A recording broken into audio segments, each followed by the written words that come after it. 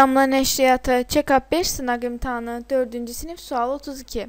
Müsəlmanların təqvimi nə vaxtdan başlayır? A bəndi. Məhəmməd peyğəmbərin anadan olması tarixindən. Xeyr, bu doğru deyil.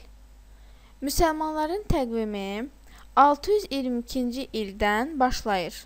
Yəni biz o hadisəni tapmalıyıq ki, bu 622-ci ilə aid bir hadisə olsun. B bəndi. Məhəmməd peyğəmbərin Məkkədən Mədinəyə köçməsi tarixindən. Bəli, bu doğrudur. Qeyd etmək istəyirəm ki, Məhəmməd peyğəmbər Məkkədən Yəsribə, yəni Mədinəyə e, 622-ci ildə köçmüşdür və bu hicrət adlanır və müsəlmanların təqvimi olan hicri təqvimi də məhz bu tarixdən başlayır.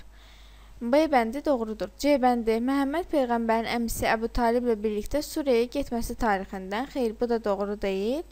D bəndi Məhəmməd peyğəmbərin Xədicə adlı varlı qadının yanında işləməsi tarixindən. Xeyr, bu da doğru deyil. Qeyd etdiyim kimi doğru bənd B bəndidir.